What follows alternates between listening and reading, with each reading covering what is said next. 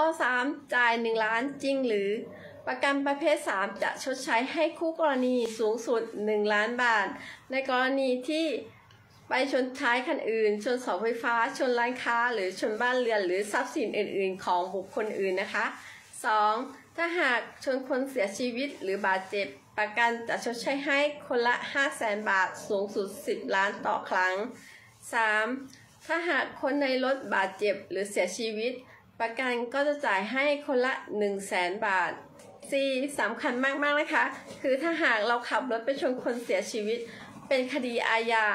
เรามีหลักทรัพย์ไปประกันตัวให้สูงสุด 3 0 0แสนบาท จะประกันตัวจากพนักงานสอบสวน ไปจนถึงชั้นศาลและสิ้นสุดคดีความนะคะ ประกันชั้น 3 เบี้ยเพียง 1,790 บาท ต่อปีเก๋งกระบะ 4 ประตู และกระบะแคป 2,690 บาทต่อปีนะคะ ที่สำคัญอย่าขับรถไม่มีประกันนะคะ อย่าลืมแชร์ความรู้ดีๆ นี้ให้กับคนที่ท่านรักด้วยนะคะ ด้วยความปรารถนาดีจากครูพิเครือประกันภัยครบวงจรทีมอาจารย์แดงค่ะ